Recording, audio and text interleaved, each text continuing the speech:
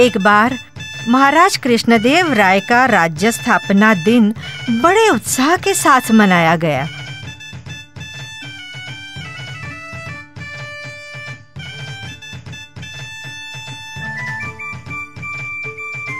इस दिन की बातचीत के दौरान महाराज बोले, वाह, क्या शान से मनाया गया हमारा राज्य स्थापना दिन।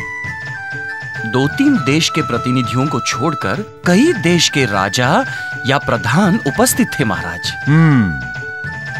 हाँ जी इसके अलावा सुंदर सुंदर भेंट भी उन्होंने हमें दी है महाराज। हाँ हाँ देखिए ना ये फूलदान कितने सुंदर है। वो फूलदान किसने दी है भाई?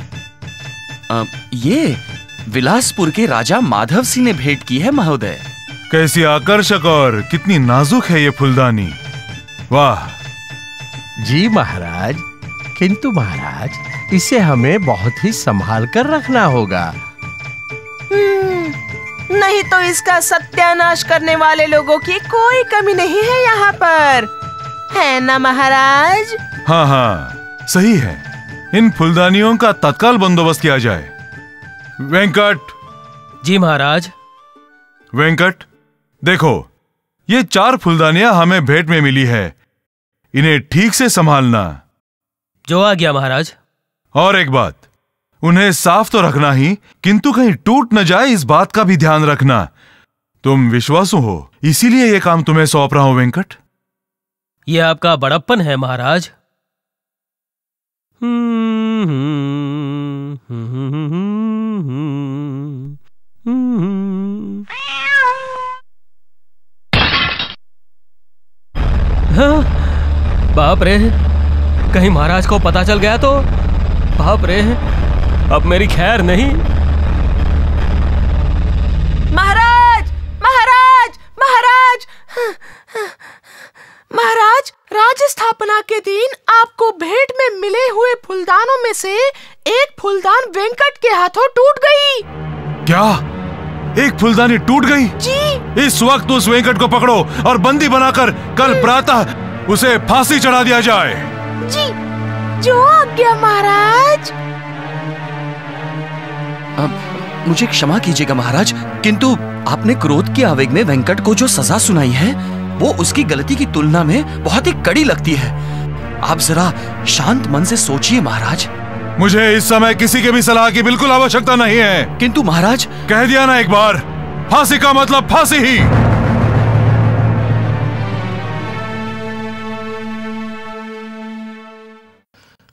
राजा के सामने अपनी एक भी नहीं चलेगी। ये जानकर चुप तो हो गए। किंतु अवरोध को मात ना दे तो वो तेनालीराम कैसे?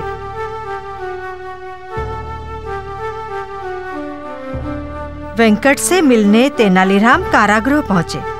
तब व्याकुलता से वेंकट ने कहा तेनालीराम जी फुलदान का टूटना सिर्फ़ एक अकस्मात ही था। वो तो बिल्ली का धक्का लगा था। उसमें मेरी कोई भूल नहीं थी। हाँ हाँ मुझे विश्वास है तुम्हारी बातों का वेंकट। वो फूलदानी तुमने नहीं तोड़ी है। तो ये बात आप महाराज को समझाइए ना। वे सिर्फ़ आप ही की बात सुनेंगे। नहीं वेंकट वे इस वक्त मेरी कोई भी बात सुनने की मनस्थिति में नहीं है। तुम हाँ तुम केवल मैं जो कहूँ वो ध्यान से सुनो और वैसा ही करो। ठीक है। सुनो मैं जो तुमसे कह रहा हूँ, हाँ हाँ हाँ ठीक है। हाँ हाँ ठीक है। समझ गए? ठीक है।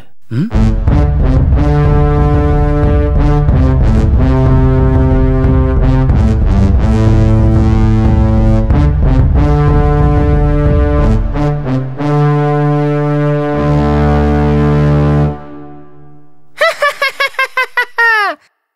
चलो वेंकट। अब तुम्हारी अंतिम घड़ी नज़दीक आ गई है। हाँ वेंकट बताओ ना तुम्हारी कोई अंतिम इच्छा है क्या?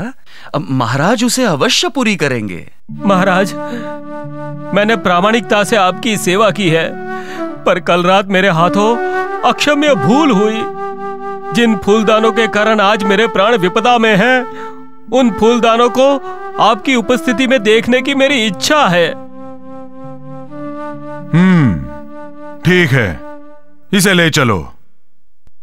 हम्म चलिए राज पुरोहित जी। चलो।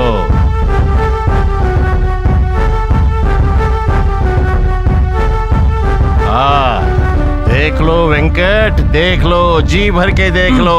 हाँ। हाँ? अरे ये क्या हो रहा है?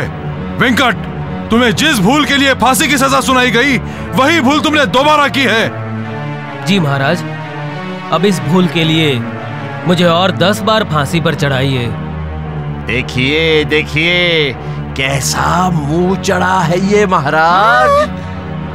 इन तीन फुलदानियों को तोड़कर तुम्हें क्या मिला वेंकट? तीन मनुष्य का जीवन महाराज। मतलब? हाँ? महाराज अगर मैंने ये तीन फूलदानों को तोड़ा नहीं होता तो उनकी देखभाल कल कोई न कोई तो करता ही था, और उनके हाथों भी ये फूलदान कभी न कभी तो टूटने वाला ही था। और वे भी एक दिन फांसी पर चढ़ जाते।